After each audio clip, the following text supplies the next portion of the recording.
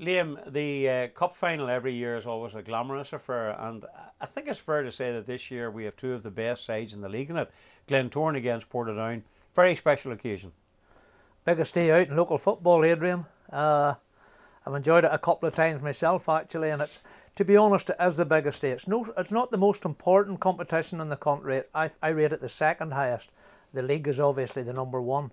But it's a great day out for everybody. They all get their suits and get their carnations and they all get to uh, sample what's a great atmosphere. There should be a big, big crowd. Portadown always turn out in numbers. The Glens obviously bit resurgent now uh, under Eddie, I must say. Transitional period, but come good and have a decent league campaign and, and they're in the final and they're there on merit. So fabulous, fabulous day. Who'll want it is another thing. I suppose it's a cliche, you know, and sports journalists are guilty of producing them all the time. But uh, I was suggesting a cup final that the form really goes out the window. There's no such thing as form in a cup final. Yeah, you can look at the stats, and, and, and you know on radio and television they'll all work on the stats. League positions and that count for nothing. Uh, I was lucky to win it twice, Adrian, in 75. The Coleraine team I played in was probably the best team I've ever played in and they were by far the best team that year in Irish League football.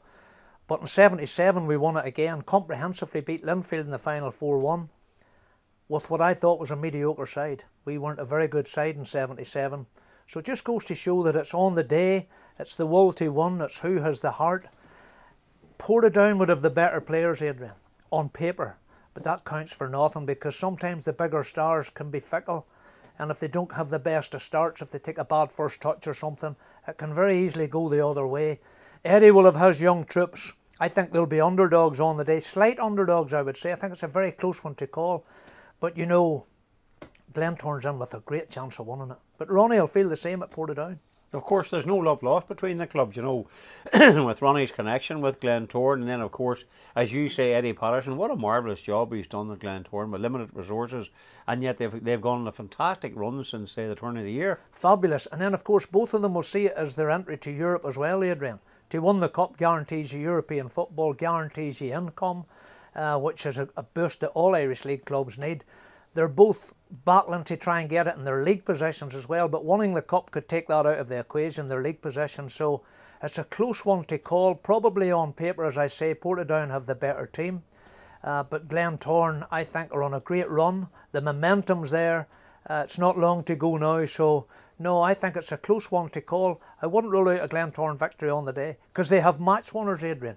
You need impact players and match winners in cup finals and where they have Portadown have Twigg and McAllister and people like that and Darren Murray and those type of players. Glentoran have Curtis Allen and they've young Jordan Stewart. They've players who are, are, are scoring goals. They've they've the wee lad Michael Oram who's playing out of his skin at the minute. So they have impact players as well in their troops and you need that on the big days. You talk about a big day and uh, for big day you get big characters too. And there's none, you know, bigger than Ronnie McFall. You mentioned him there. You know, we talk about him like that. But the longest serving manager in European football, he really is a, a, credit to himself, a credit to local football as well. What a marvellous, marvellous character. Fabulous. Uh, I've, I've, nothing but the utmost admiration for Ronnie. I played against him when he was a player and he had a cleangy. In fact, that was the only ground I knew they didn't need a lawnmower for Ronnie it every time he played. He had a big left leg that just swiped everything. But he was a wholehearted player. He always gave of his best, and he's the same as a manager. And that's why he has stood the test of time, Adrian, because he gives everything he has. And I'll tell you something God help the critter that ever has to go to Portadown to replace Ronnie McFall because what Ronnie gives those people up there is nothing short of remarkable. And I'm like you, uh, I'm full of admiration for him. And I'm sure it's his big day, and there are not many of them left, Adrian if I was to put my hand on my heart and be perfectly honest, I would say Ronnie's days are probably numbered at Portadown. Old Father Time is an age has caught up with him. It's a younger man's game now, and I'm sure he would love to bow out, perhaps, with an Irish Cup victory.